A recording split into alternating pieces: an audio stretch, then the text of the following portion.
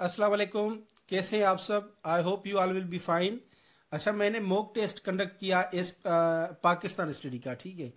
उसमें मैंने 50 एम दिए थे पाकिस्तान स्टडी के, और ये एसएसटी के लिए भी बहुत इंपॉर्टेंट है। लेक्चरर पाकिस्तान स्टडी या फिर एसपीएससी का कोई भी जॉब के लिए इम्तिहान हो, या फिर एफपीएससी का हो, या फिर आईबीए का हो, या किसी का भी हो जॉब टेस्ट के लिए तो उनके लिए ये बहुत इंपॉर्टेंट है। आपसे गुजारिश करूँगा कि ये मोक पेपर जो है ना सारा ज़रूर इस ये वीडियो देखें उसका। तो ये फिफ्टी एम हैं। पहले पार्ट में हम ट्वेंटी फाइव एम जो ना वो डिस्कस करेंगे। और पार्ट टू में बकाया जो भी ट्वेंटी फाइव एम हैं वो डिस्कस करेंगे। सो so, आपसे गुजारिश अगर आप मेरे यूट्यूब चैनल पर नए हैं तो काइंडली इसको सब्सक्राइब कर दीजिएगा। अच्छा शुरू करते हैं। हमारे पास पहला जो एमसीक्यू है वो है newspapers comrade in nineteen in English and Hamdard in 1913 in Urdu by Maulana Mohammad Ali Jauhar daily Dawn in 1942 by Quaid Azam Zamindar by Maulvi Sirajuddin and Al Hilal in 1912 by वरिशूट ठीक है? ये आ, पहले तो इसमें जो information दी गई है मैं वो वो आपको बताता चलूँ। ये यहाँ पे मैंने मौलाना मोहम्मद अली जोहर की दो आ, जो न्यूज़पेपर है वो मैंने लिखी है। एक कामरेड जो इशू हुई थी उन्नीस सौ ग्यारह में, ये इंग्लिश में थी। और दूसरी मौलाना मोहम्मद अली जौहर की जो न्यूज़पेपर थी, वो हमदर्द, जो कि 1913 में जो ना इशू हुई थी और ये उर्दू में थी। उसके बाद कायद अजम की डॉन न्यूज़पेपर जो 1942 में इशू की थी कायद अजम ने। अच्छा इसके लिए आपको ना कि बुक्स में ये भी मिलेगा 1941 लेकिन 1941 में जो कायद अजम ने वो अखबार, ये डॉन इशू की थी, वो आई थिंक वीकली थी। हाँ मोस्टली वीकली थी। तो ये डान जो है डेली बनी थी रोज़ाना के बुनियाद पे बनी थी वो 1942 में बनी थी ठीक है? तो इसलिए 1942 जब डेली डान लिखेंगे तो 1942 आएगा। ये कायद आज़म ने इशू की और जिम्मेदार बाय मौलवी सिराजुद्दीन अल हिलाल नाइनटीन में आ, ये पूछा गया है कि अल हिलाल अखबार जो है ना ये किसने इशू की थी? तो इसका जवाब है मौलाना अबुल कलाम आज़ाद। उसके बाद है दूसरा MCQ in 1935 Jahanara Shah Nawaz founded Punjab provincial Muslim women's league on March first 1947 lady namely threw away the union jack from Punjab secretariat अच्छा इसमें एक इन्फॉर्मेशन ये दी गई है कि 1935 में जहान आरा शाह नवाज़ ने Punjab provincial Muslim women's league जो है ना वो उसको फाउंड किया था और पूछा गया है कि फ़र्स्ट मार्च 1947 को किस खातून ने जेक यूनियन का पंजाब सेक्रेटरी से वो थ्री अवे किया था? तो इसका ऑप्शन ए सही है, फातिमा सुगरा। उसके बाद क्वेश्चन नंबर तीन है, Cripps mission of 1942 headed by sir Stafford Cripps. Reached India on 22 March 1942 cabinet mission plan 1946 proposed three tier administration had three members namely Pethick Lawrence AV Alexander and इसमें एक information तो uh, Cripps mission के uh, related है कि ये 1942 में Cripps mission आया था और ये uh, इसका जो हेड था सर स्टेट फोर्ड क्रिप्स था और ये इंडिया में 22 मार्च 1942 को पहुँचे थे। उसके बाद कैबिनेट मिशन का सवाल है लेकिन उसमें कैबिनेट मिशन प्लान का यह है कि 1946 में ये आया था और इसमें प्रपोज किया गया था थ्री टायर एडमिनिस्ट्रेशन जिसमें ग्रुप ए था बी था सी था। तो पूछा गया है कि उसके जो ना मिशन प्लान 1946 के तीन मेंबर थे, दो का नाम दिया गया है, एक का नाम पूछा गया है तो उसका स्टेट फोर्ड क्रिप्स है यहाँ पे ए ऑप्शन ठीक है। उसके बाद क्वेश्चन नंबर फोर है the Lahore resolution 1942 1940 was adopted during twenty annual session of Muslim league at Minto park now Iqbal park it was written and translated into Urdu by Zafar Zafrullah Khan who presented it अच्छा यहाँ पे ये information note कर लें कि Lahore resolution मुस्लिम league के सत्ताईसवें annual session में ये पेश किया गया था और ये हुआ था मिंटो पार्क में। उस वक्त अब इसको इकबाल पार्क कहते हैं। जो कि लाहौर में है।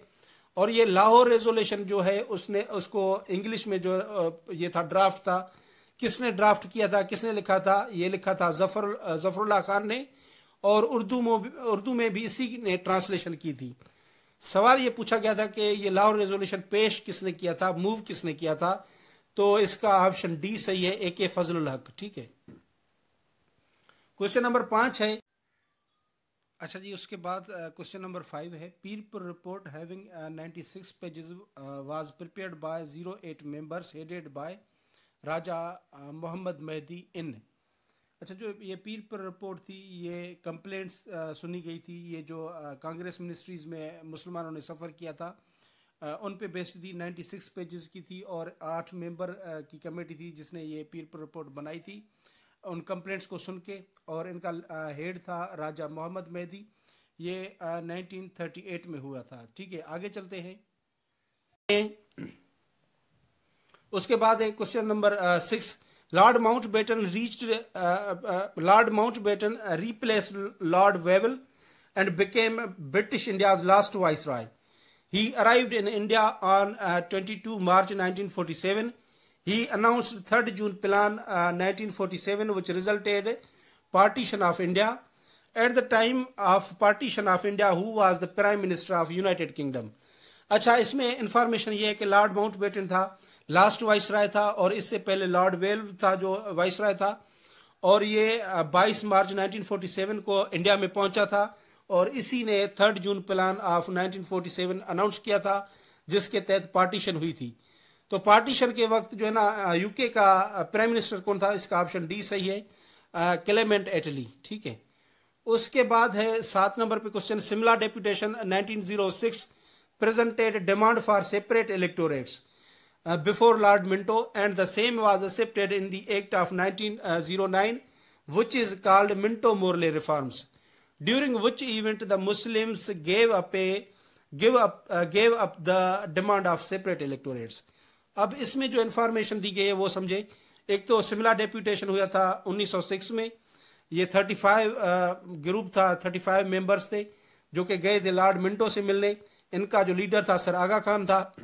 और इन्होंने जो मेन अपनी डिमांड पेश की थी, वो ये थी कि हमें सेपरेट इलेक्टोरेट्स का राइट हमें दिया जाए, जो कि अभी रिफॉर्म्स आने थे 1909 में।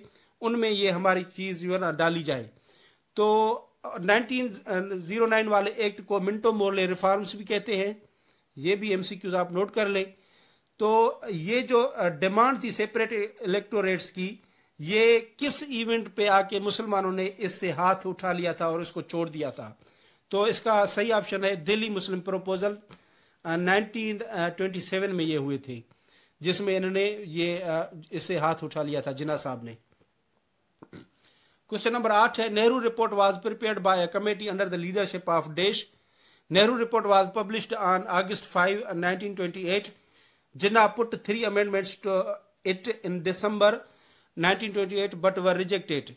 Thus, he gave his famous 14 points in March 1929.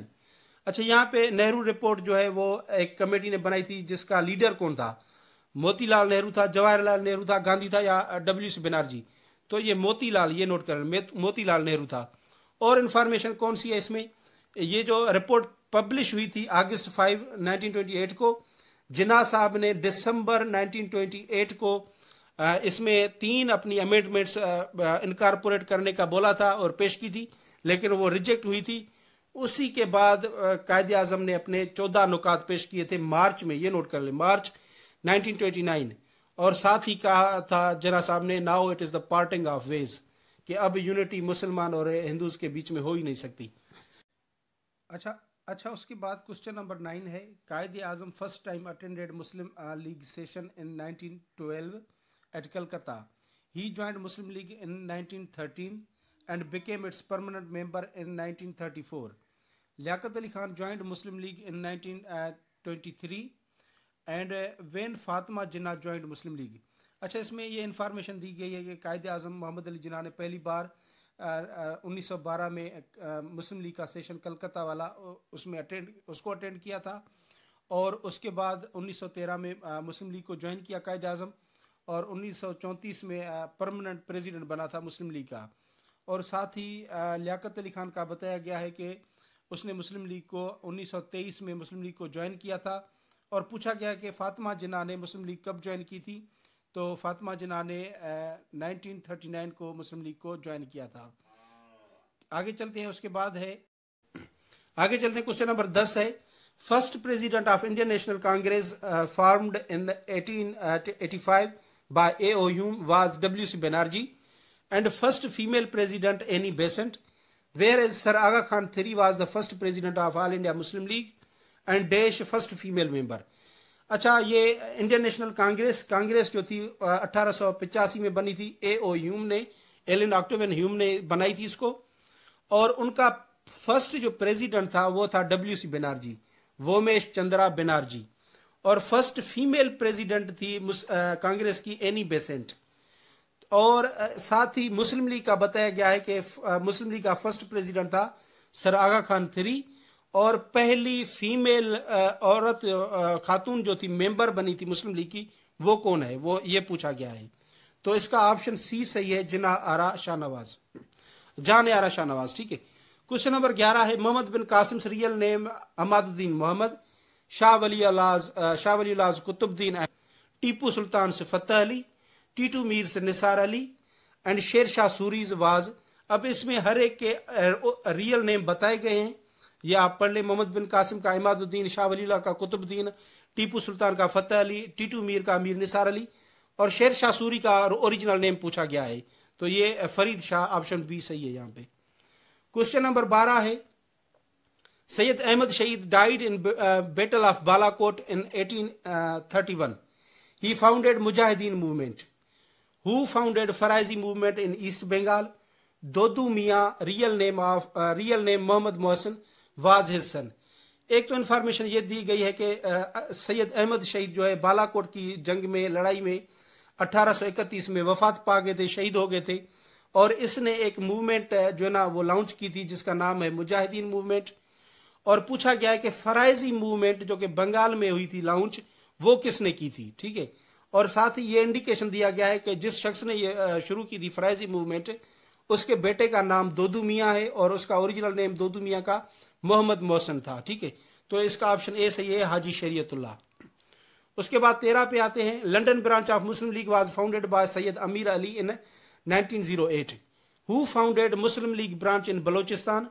He is the person who also founded Balochistan Muslim student federation in 1943 London वाली जो मुस्लिम लीग की ब्रांच थी, वो जस्टिस सैयद अमीर अली ने 1908 में जो ना, वहाँ पे ओपन की थी।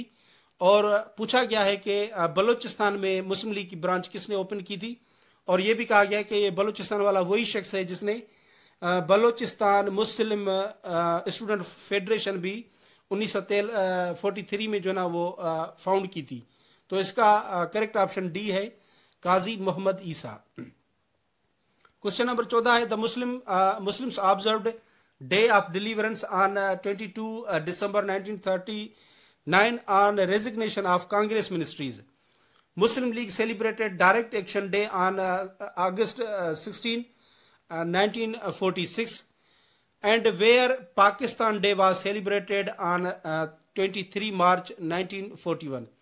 पूछा गया कि जो मुसलमान है उन्होंने डे ऑफ़ डिलीवरेंस 22 दिसंबर 1939 को सेलिब्रेट किया था जब कांग्रेस ने कांग्रेस मिनिस्ट्रीज ने रिजाइन दिया था और डायरेक्ट एक्शन डे इस डेट को 16 अगस्त 1946 को मनाया गया। पूछा गया कि पाकिस्तान डे 23 मार्च 1941 को मनाया गया था ये नोट कर ले साल। कौन से शहर में? तो ये कोयटा है इसका। क्वेश्चन नंबर पंद्रह है Pakistan constitution Pakistan constituent assembly was formed in twenty July 19 अच्छा ये 1949 है uh, 1947 1947 Pakistan Constitution, uh, Pakistan Constituent Assembly was formed on 20 July 1947. The first meeting of First Constituent Assembly was held in, on August 11, 1947, in which uh, Jinnah became its president. Who dissolved First Constituent Assembly on 24 October uh, 1954. अच्छा इसमें एक तो ये हो गया Pakistan constitution assembly कब बनी थी दूसरा कि फ़र्स्ट कॉन्स्टिट्यूशन असेंबली का जो फ़र्स्ट मीटिंग हुई थी वो अगस्त 11 को हुई थी 1947 में जिसमें जिना साहब उसका फ़र्स्ट कॉन्स्टिट्यूशन असेंबली का प्रेसिडेंट बना था। और ये फ़र्स्ट कॉन्स्टिट्यूशन असेंबली को कब डिसॉल्व किया गया था आ, किसने डिसॉल्व किया था? चौबीस अक्टूबर 1954 में। तो इसका ऑप्शन जो है वो सी सही है। गवर्नर जनरल गुलाम मोहम्मद ने इसको डिजॉल्व किया था। क्वेश्चन नंबर सोलह है the Sir Creek 96 kilometre strip of water disputed between India and Pakistan on which border line it is situated ये सर क्रीक है एक स्ट्रिप है uh, पानी की सिक्सटी नाइन किलोमीटर की स्ट्रिप है uh, या फिर uh, ये नाइन्टी सिक्स या फिर सिक्सटी माइल्स मैंने दोनों लिख दिए ये डिस्प्यूटेड है बिटवीन इंडिया एंड पाकिस्तान और कौन से बॉर्डर पे है? तो ये है thirty twenty four parallel line border इसे कहते हैं। जो कि इंडिया और पाकिस्तान के बीच में है। क्वेश्चन नंबर सेवनटीन है, Wakhan corridor situated in Afghanistan separates Pakistan from Wakhan corridor Afghan, Afghanistan में है। ठीक है, ये भी नोट कर ले, अफ़गानिस्तान में और इस पर कंट्रोल भी अफ़गानिस्तान का है। वो सेपरेट करता है पाकिस्तान को ताजिकिस्तान से। क्वेश्चन नंबर एटीन है first martial law was impose by Ayub Khan on 7 October 1958 second by Yahya Khan on 25 March uh, 1969 and third by Ziaul Haq on इसका ऑप्शन सी सही है। ठीक है 5 जुलाई 5 जुलाई 1977 में। ठीक है इसमें अच्छा सॉरी इसमें ना ये सारे जो भी तीन मार्शल लॉ लगे थे उनकी डेट्स भी आ गई हैं। और किसने लगाई थी कब लगाई थी ये भी आ गए हैं। ठीक है आगे चलते हैं। Question number 19 first constitution of Pakistan was enforced on तेईस March 1956 second on 8 June 1962 and third on 14 August 1973 तीनों कॉन्स्टिट्यूशन की इन्फोर्समेंट की डेट्स आ गई। Who abrogated first constitution of Pakistan and dissolve National Assembly on 7 October 1959 तो first constitution को किसने abrogate किया था और नेशनल असेंबली तोड़ी थी? तो ऑप्शन सी सही है इसका इसकंदर मिर्ज़ा ने उसके बाद क्वेश्चन नंबर ट्वेंटी है, Khawaja Nazimuddin was second governor general and also second prime minister of Pakistan he was first prime he was first prime minister from East Pakistan Bangladesh who were third prime minister and third governor general of Pakistan एक बात इसकी note कर ले ख्वाजा नाजिमुद्दीन की। ये पाकिस्तान का दूसरा governor general भी ये था। पाकिस्तान का दूसरा प्राइम मिनिस्टर भी ये था और ये वो पहला प्राइम मिनिस्टर था जो बांग्लादेश से हुआ था, ठीक है, ईस्ट पाकिस्तान से। तो फिर थर्ड का पूछा गया थर्ड गवर्नर जनरल कौन था थर्ड प्राइम मिनिस्टर कौन था? तो इसका ऑप्शन सी सही है। थर्ड जो प्राइम मिनिस्टर था वो मोहम्मद अली बोगरा थे और थर्ड जो गवर्नर जनरल थे वो मलिक गुलाम मोहम्मद थे। आगे चलते हैं इक्कीस पे।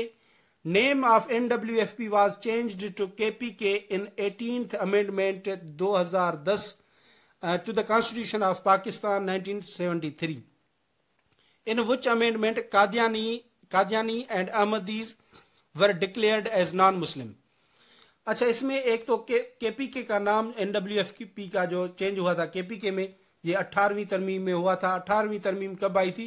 1910 में। अच्छा और अठारहवीं तरमीम को मिनी कॉन्स्टिट्यूशन भी कहा जाता है, मिनी।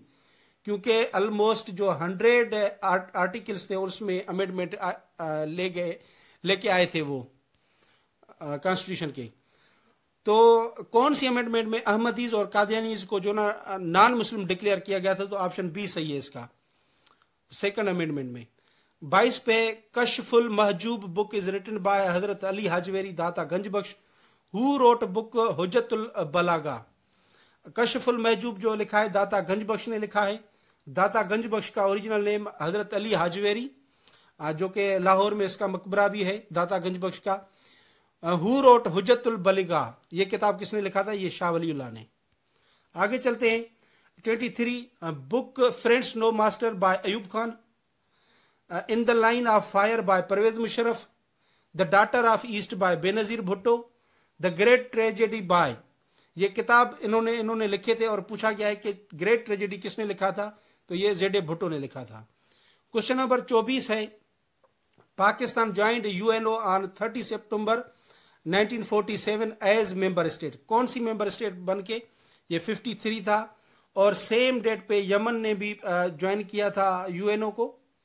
और Yemen forty fifty fourth member है उसका। ठीक है, ये भी नोट कर ले। उसके बाद पच्चीसवा एमसीक्यू है। Liaquat Nehru pact was signed between India and Pakistan on 8 April 1950 for protecting देश इन बोथ कंट्रीज़ तो इसका ऑप्शन नंबर सी सही है मिनोरिटीज ये मिनोरिटीज को प्रोटेक्ट करने के लिए नेहरू पैक्ट साइन हुआ था इंडिया और पाकिस्तान के बीच में। कब हुआ था? 8 अप्रैल 1950 को। तो ये थे 25 एमसीक्यूज अब पार्ट टू में हम जो मजीद 25 एमसीक्यूज हैं, उनको डिस्कस करेंगे। मैंने कोशिश की कि हर एमसीक्यूज में मैं मैं दो से तीन एमसीक्यूज की आपको इन्फॉर्मेशन देता चलूँ, क्योंकि मॉक टेस्ट का मकसद भी ये होता है कि आपको ज़्यादा से ज़्यादा इसमें इन्फॉर्मेशन मिले। तो thank you so much for watching this video उसका पार्ट टू ज़रूर देखिएगा। अल्लाह हाफिज़।